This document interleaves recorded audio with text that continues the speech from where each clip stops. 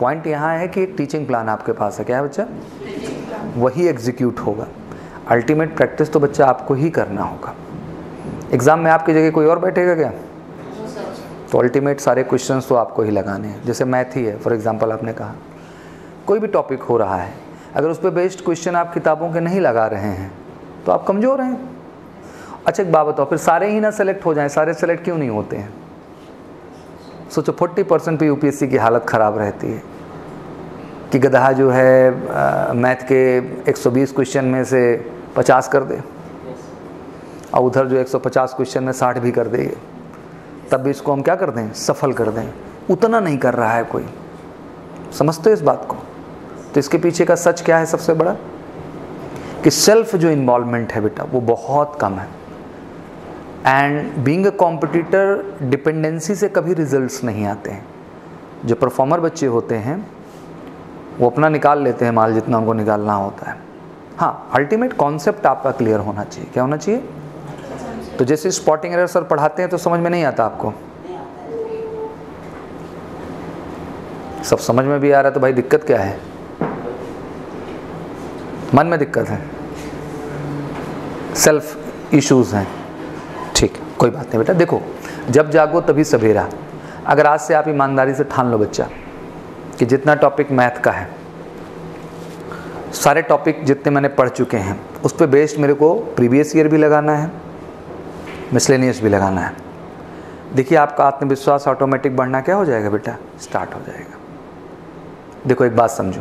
मैं तुम्हें रेस की कितनी भी टेक्निक बताऊँ, लेकिन अल्टीमेट मैदान में क्या करना पड़ेगा बेटा?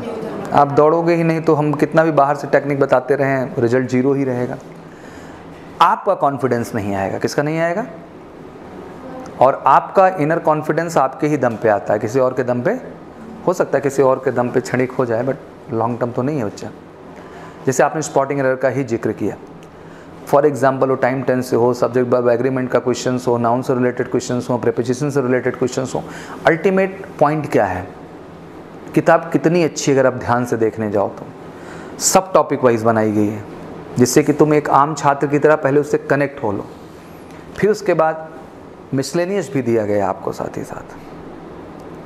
कि आप वो भी करके देखो कि आपका कमांड यूपीएससी लेवल का है कि नहीं। मिसलेनियस का मतलब एक तरह से प्रीवियस ईयर ही है, ठीक है? तो आपने कोई कॉमन एरर के क्वेश्चन उठाए, किए? किसी भी टॉपिक पे, जैसे आर्ट पार्ट ऑफ़ स्पीच है हमारे पास तो किसी का उठा के किया आपने? हाँ? नॉर्मल किए? गलत ना, मैं कहाँ ले जा रहा हूँ, आप कहाँ जा रहे हो? एफर्ट्स बढ़ाओ बच्चा। क्या बढ़ाओ? अभी छोटे यार, अभी तो आपको बहुत मेहनत करना है बच्चा। किसी भी कंपटीशन को दुनिया में आप बहुत सच्चाई से निकाल सकते हैं। बहुत आसान भी है, चीज़ें बहुत टफ भी हैं। आसान उस बच्चे के लिए है जो शिद्दत से लग के मेहनत कर रहा है। जैसे बच्ची ईसा है, ईमानदारी से मेहनत करे, उसको किसी भी कंपटीशन में बैठाओगे, निकाल लेगी ये। क्यों? क्योंकि सेल्फ फोकस्ड अप्रोच है। और कमाल की बात यह है बच्चा कि फौज से ज़्यादा करियर ऑप्शन कहीं है ही नहीं। अगर हम टेन प्लस टू लेवल पे देखें बच्चा तो इससे ज़्यादा करियर कहीं है क्या भैया? नहीं। है इतना मैं हल्ला मचाता हूँ। इस बार वाला जेई का फॉर्म भरा था तुमने? नहीं इनसे पूछ रहा हूँ मैं। क्यों नहीं भरा? You are not eligible why अच्छा यूर कॉमर्स अच्छा तब आपको चैलेंजेज आते होंगे। तो ये बताओ ना भाई तेरे सुन कह रहे हो। बता दो सर कॉमर्स साइड वाला हूँ क्या हूँ? और कॉमर्स साइड का बच्चा कह रहा है, मैथ मेरा चकाचक है। था आपका। तो वो दिक्कत नहीं है। तो पॉइंट इज़ दैट कि अल्टीमेट ये समझना बहुत ज़रूरी है, जैसे अभी बहुत सारे बच्चे हैं। एग्ज़ाम सारे दिया करो। ज्वाइन करो, ना करो, मुझे उससे कोई मतलब नहीं है।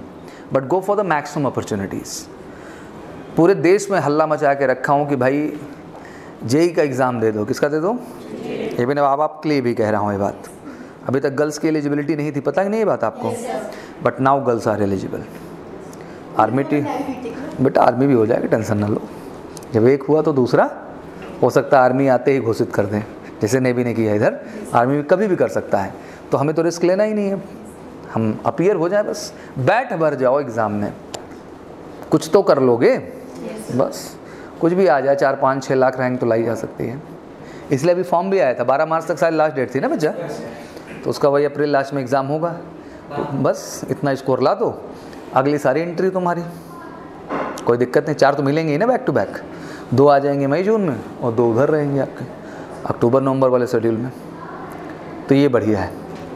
और दो अपने पास एनडीए है ही। एक अप्रैल वाला हो गया बच्चा, और एक जो है सितंबर वाला। सोचो कितनी एसएसबी मिलेंगी? इमेजिन कर रहे हो? सिक्स एसएसबी कितनी एसएसबी मैं बहुत बड़ा नालायक होगा छः बार फेल होगा। और चार में तो कुछ करना ही नहीं है। कुछ करना है क्या उधर?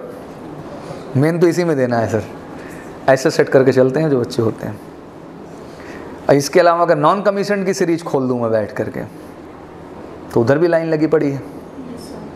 चाहे बच्चा एयरफोर्स का फॉर्म भर रहा हो चाहे नेवी का भर रहा हो चाहे आईसीजी का भर रहा हो, चाहे आर्मी का भर रहा हो। आर्मी में भी स्पेशल कैटेगरी ले लो टेक्निकल ले लो, क्या ले लो? क्लर्क ले लो। अच्छी अपॉर्चुनिटीज़ वो भी होती हैं। आ सब तो यूँ उड़ा दो एक सेकंड के अंदर।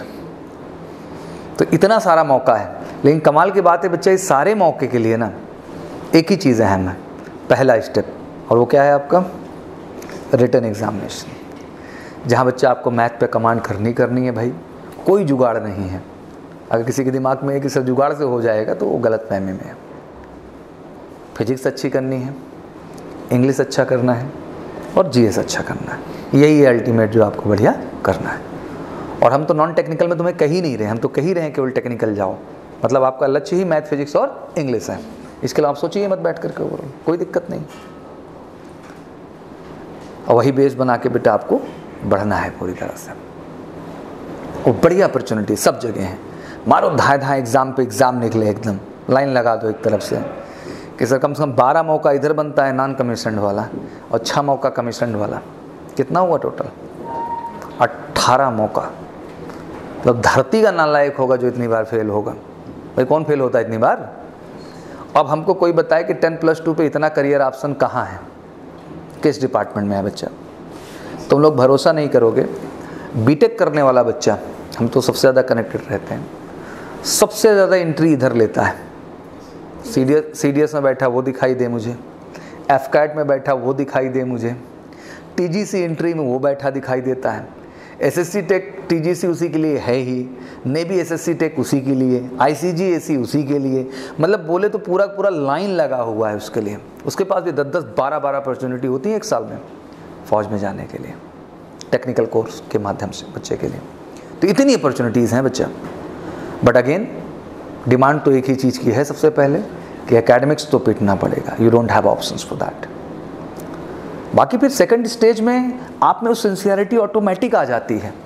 Once you do well in the return examination बच्चा then automatically your personality started grooming and you will understand the situation scenario prospect personality aspects that automatically will start increasing in you वो अपने आप शुरू हो जाती हैं कि मुझे कैसे अब अपने को क्या देना है बच्चा? बेस्ट देना है। बट फ़र्स्ट स्टेप तो है, इस पर तो कोई जुगाड़ चढ़ने वाला नहीं है। दुख भी होता है कि like you type of guys getting a proper opportunity in the class room you're getting teacher to get proper classes every day बिल्कुल निचोड़ लो यार, हर चीज़ सीख लो, कुछ मत छोड़ो। लेकिन इसके लिए उस लेवल का जज्बा बच्चा आपको अपने अंदर तो लाना पड़ेगा। You can't blame to anyone आप किसी को ब्लेम अंत में नहीं कर पाएँगे बता दे रहा हूँ। अल्टीमेट सारा किसके ऊपर आएगा? तो waste your time to blaming other focus on yourself whatever is going on and where are lacking feel कि somewhere am the problem and I need to work on that फिर आप उसके लिए वो रिसोर्सेज तलाशना शुरू करोगे, जिससे वो काम करके आप बेहतर करो। कौन अच्छा है, कौन बुरा है, इससे आप बेहतर नहीं हो सकते हो कभी। उसको थोड़ी ना सुधारना है सर मुझे। मुझे खुद को अच्छा बनाना है ना really working for myself this is all about I think it's really great option great option कभी कभी तो मैं सोचता हूँ बैठ के अगर टेन प्लस टू लेवल पे फौज से बेहतर हो क्या सकता है किसी भी बच्चे के लिए, अगर वो ध्यान से सोचे बैठ के तो? क्योंकि मैं देख रहा हूँ ना बीटेक करने के बाद भी जब वो यहीं आ रहा तो भाई शुरू से यहीं चल लेते हैं ना। जब बीटेक करने के बाद भी उसको कहाँ आना है? तो भाई स्टार्ट से ही स्टार्ट करते हैं। ज़रूरत था क्या माँ बाप का पाँच दस लाख रुपए पहले हम डंप कराएँ, उसके बाद जो है प्रोसेस क्या करें? स्टार्ट करें।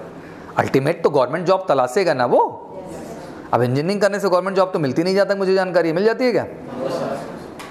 और प्राइवेट उसको करना नहीं है। तो अल्टीमेट घूम के कहाँ आएगा? सबसे ज़्यादा करियर ऑप्शन फौज के अंदर। बिकॉज़ फौज भी बहुत टेक्निकल हो रही है टेक्नोलॉजी इंक्रीज हो रही है तो ज़्यादा से ज़्यादा इंजीनियर्स की ज़रूरत है। और लोग जा रहे हैं। मैं गट्स इसलिए यूज़ करता हूँ, कितनी मेहनत करके वो यूपीएससी क्लियर करता है डिफेंस का कोई भी एग्ज़ाम क्लियर करता है। अभी बात ये नहीं ख़त्म हुई। फिर उतना टफेस्ट प्रोसेस एसएसबी से गुजरना है उसको। जहाँ किसी एकेडमिक का टेस्ट नहीं है बच्चा। It's all about a personality test कि इस छोटी सी उम्र में भी। Because I always get interacted with the selected candidate and I feel that how much mature sincere, balance मतलब सल्यूट टू देयर पेरेंट्स कितनी अच्छी अपब्रिंगिंग किए होते हैं। तभी तो इतना सिंसियरिटी इतना बैलेंस इतना मेच्योरिटी बच्चों में होता है। जैसे आप ही हैं। तो गार्जियनशिप का रोल तो बड़ा है ही। ऐसा थोड़ी ना कोई आके आपको दो महीने में बेटा आपकी पर्सनैलिटी को बदल दिया। नहीं। माँ बाप ने जो संस्कार दिए हैं जो बचपन से आपको पाले हैं पोसे हैं बड़ा किए हैं वो सबसे बड़ी चीज़ है। और उसका मैं बहुत रिस्पेक्ट करता हूँ अंदर से क्योंकि मैं वो चीज़ देखता हूँ सामने से बैठ के। हम भी अकेडमीज़ में रहे हम भी पढ़ाई किए।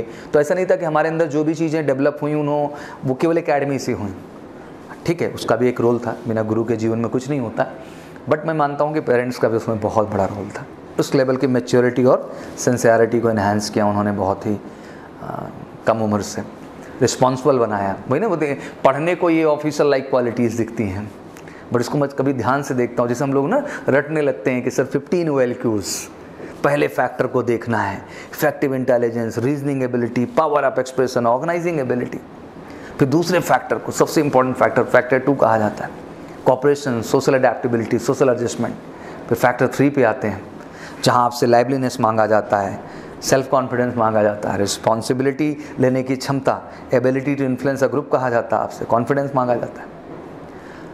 फिर आपसे फाइनली जो है करेज डिटर्मिनेशन और स्टेमिना की डिमांड होती है। अब इन क्वालिटीज़ को अगर हम थियोरिटिकली पढ़ने जाएँ बच्चा तो there is a lot of definition but you know it's not a definition बच्चा it's all about a feeling what you have regarding these qualities effective intelligence कोई वर्ड नहीं है। किसकी स्पेलिंग याद कर ली और इसका मतलब याद कर लिया। आप में इफ़ेक्टिव इंटेलिजेंस की एक्सपेक्टेशन की जा रही है। और इफ़ेक्टिव इंटेलिजेंस बेटा कोई एक दिन की चीज़ नहीं जो हमने आपके अंदर पैदा कर दी। ये आपका एकेडमिक स्ट्रांगनेस है जो आपके अंदर वो चीज़ लाता है। आपके अंदर अवेयरनेस किस लेवल की है? नेशनल इंटरनेशनल जो भी इशूज़ हो रहे हैं उन पर आपका नज़रिया कितना अच्छा है। आप कितनी बारीक नज़र रखते हैं। आप बायस्ड नहीं हैं। आप में अपना एक स्टैंड है क्लैरिटी है. दैट्स कॉल इफ़ेक्टिव इंटेलिजेंस वही तो मेरे को इफ़ेक्ट कर रहा है उसका इंटेलिजेंस की बिकॉज़ यार क्लैरिटी है इस आदमी में. रीजनिंग एबिलिटी उसके पूरे लाइफ का वाई क्लियर है. क्या क्लियर है? वाई क्लियर है. भाई, ज़िंदगी में कोई चीज़ क्यों पानी है? अगर यही रीजनिंग नहीं तुम्हारा क्लियर लाइफ में तो तुम कभी हाउ कर पाओगे ज़िंदगी में? कहते हैं लाइफ का जब क्यों क्लियर हो जाता है ना बेटा? तो कैसे तो अपने आप दौड़ता है. और सारा गेम वाई एंड हाउ का ही है। आप समझे ना? मुझे अपने पेरेंट्स को वो रिस्पेक्ट दिलानी है। उन्हें प्राउड पेरेंट्स फील कराना है। उनको ये फील देनी है कि हम कमीशन मैं कमीशन हूँ, मैं लेफ्टिनेंट के पद पे हूँ, मैं सब लेफ्टिनेंट के पद हूँ, मैं फ्लाइंग ऑफिसर के पद पे हूँ। ये मेरे अंदर एक फील है। मेरा वाई क्लियर है। मुझे इसलिए करना है। तो फिर कैसे करना मैं किसी से पूछने जाऊँगा। मैं जान लगा दूँगा, लेकिन एटलीस्ट वो वाई तो क्लियर हो। तुम्हारी ज़िंदगी में तुमको यही नहीं पता कि तुम्हें आखिर फ़ौज ज्वाइन ही क्यों करनी है? आर्मी क्यों जाना है फोर्स क्यों जाना है नेवी क्यों जाना है बेटा? तब तक सब चल रहा है, बाकी तो चलती ही है दुनिया। वो कहते हैं स्ट्रॉन्ग फोकस एंड डेडिकेशन और ये आपका स्वयं का है। इस पर किसी और का ना हक है, ना किसी और का सुझाव चलता है इसमें। न किसी का स्टेटमेंट आपके लिए मैटर करता है। ये आपका है, आपका अधिकार है, आपका चुनाव है। आपकी स्वयं की रीजनिंग एबिलिटी है आपके पास रीज़न है। क्या है बच्चा? जब भी आप अपनी बात रखें, आपके बातों में एक पार होना चाहिए। स्पीक लाइक अ फौजी you going to behave like a leader किसी ने किसी ट्रूप किसी ने किसी बटालियन को आप कमांड करोगे आगे चल के। At least your voice should be very clear आप बोल ही नहीं पा रहे हो कमांड क्या करोगे बैठ करके? आदमी कहते हैं, आधा डर तो आवाज़ से पैदा कर देता है। To leaders is all about फौजी life is all about always you have a event in your life जैसे मैं आपको एग्जांपल देता हूँ। ये इवेंट तो बड़ा मज़ेदार था। वहाँ का इवेंट तो जीने मरने वाला है। एक भी कॉम्बैट ऑपरेशन हुए बच्चा, किसी भी एरिया में। हर समय शांत एरिया नहीं मिलता ना। हर समय सर फ़ील्ड एरिया मिला हुआ है। नहीं, ऐसा नहीं। जब आप होते हो उस सिचुएशन में मिशन होता है कि हाँ भैया दो ठो आतंकवादी वहाँ छुपे हुए हैं। तो तुम्हें क्या लग रहा है? तुम जा रहे हो, बैठ के इंतज़ार कर रहे हो, मार दो मुझे। मालूम नहीं साले किधर छिपे हुए हैं। जंगल ही जंगल तो है। कितना प्लान करना पड़ता है। और ज़िंदगी मौत का सवाल है। एक मिस्टेक एक गोली लाइफ ख़त्म। अब वो तो तुमको देख रहा है जहाँ बैठा हुआ। तुम देख रहे हो क्या उसको? सोचो कितना ऑर्गेनाइज होते होंगे। तब मिशन क्या होता है बच्चा? क्लोज होता है। वेरी ऑर्गेनाइज ज़िंदगी मौत का सवाल है। वेरी कॉन्सियस तो वही तो एटीट्यूड हम चाहेंगे। ऐसा नहीं कि अभी कोई फौजी एटीट्यूड आपने एक्सपेक्ट करते हैं बट एक बेसिक लेवल की तो सिंसियरिटी हम आपसे एक्सपेक्ट करेंगे ना बच्चा, नहीं तो फिर क्या मतलब है उसका यार? यही सब टेस्ट होता है। पीपल मेक इट हुआ कि S S B is a big testing process nothing big it's a very genuine process once you sit in the interview round interviewing officer is very relaxed is talking very genuine he just need to understand कि भाई ये बंदा real है कि fake है? This is the concept because everybody is फौजी ना from heart but once opportunity will come, situation will come, फिर तो भागने दो उसको उठ के वहाँ से। बोले तो देश प्रेमी सभी हैं। लेकिन दिखाने की बात आएगी तो कितने नज़र आएँगे? एक भी नहीं नज़र आते हैं, सब भग जाते हैं उठ करके। आप कभी अजमा के देखो, वहाँ ऐसा चलेगा क्या? उधर तो रियल आदमी चाहिए। क्योंकि बेटा बात केवल उस एसएसबी तक की नहीं है, उसके बाद के उस चार साल के रगड़े का है भाई। The life is not life life is like a hell इस पूरी की पूरी बॉडी को बदल देते हैं नॉर्मल आदमी से जो है आयरन मैन बन जाता है। ठंडी में डाल दो। माइनस फिफ्टी फाइव पे कोई बात नहीं। इसको सिक्सटी टेम्परेचर पे डाल दो, कोई बात नहीं। बाढ़ में डाल दो, कोई बात नहीं। ये कौन है? वो कैपेसिटी भी है, वो बियरेंस भी है इसके अंदर। वही तो हमें चाहिए ना बच्चा। नहीं, कल को ले गया, मैं ट्रेनिंग में रगड़ा दे दिया तो भैया मर गया एक ही दिन में। बीमार हो गए तो जुकाम हो गए, बुखार हो गए, कैसे आए सर क्या करा? ऐसा चलेगा? तब तो हो चुकी है अकेडमी चल चुका देश। तुम्हें क्या लगता है? वहाँ एक कॉम्बैट ऑपरेशन में गए तो जाते ही खड़ा है, गोली मार दी। नहीं बेटा सात सात दिन लग जाते हैं दस दस दिन लगते हैं। तो वहाँ तुम क्या सोचते हो? नहीं, अभी मेरा ब्रेकफास्ट टाइम है सर हम लोग फायर नहीं करेंगे। पहले हम लोग लेबर की तरह बैठ के खाना खाएँगे इधर। अभी हमारा सोने का टाइम है सर इस समय हम गोली नहीं चलाते। तुम्हें क्या लगता है, ऐसा सब चलता होगा क्या? इट्स एक्सट्रीम डिफरेंट कंडीशन बच्चा। जानते हो भैया? एक डिफरेंट या एडवर्स सिचुएशन आती है। एक फौजी खड़ा हो जाता है, हज़ार नॉर्मल इंसान जो खड़ा होता है उसको आस बन जाती है कि हम ज़िंदा बच जाएँगे। समझ सकते हो, आदमी है? वो आदमी नहीं है भाई। महान आदमी है। उसका कंपैरिजन ही दुनिया में किसी से नहीं है। That you need to understand इसीलिए रियल हीरो कहा जाता है। इनके पास सब्सटीट्यूट नहीं है सेकेंड टेक नहीं है। One take game over that's why we have a love toward them ये पर्सनालिटी का टेस्ट है, एस एस बी बच्चा। देखता है कॉपरेशन है कि दिखावे का है। हम लोग कॉपरेशन दिखावे का करते हैं ना? नहीं चलेगा। पहले देश है। फिर मेरे लोग हैं जिनको मैं कमांड करता हूँ। मेरा नंबर तो सबसे लास्ट में वो भी कोई ज़रूरी नहीं है। पहले उनका कंफर्ट ज़रूरी है। तभी भारत माँ के सपूत किसी माँ के तो हैं बट भारत माँ के ये बहुत इंपॉर्टेंट है। They are very real people वो personality aspect social adaptability social adjustment हर तीन साल पे नई जंगल में भेज देगा आपको उठा के नहीं, यहाँ तो हम नहीं रह पाएँगे। हम ऐसे माहौल में नहीं रह पाते हैं। ऐसा चलेगा क्या फौज में? होता नहीं सर, गर्मी लग रही है, सर ठंडी लग रही है, बारिश लग रही है, सब नहीं। हमने जो निर्णय लिया है, हमने जो डिसीज़न लिया, वो हमारा है।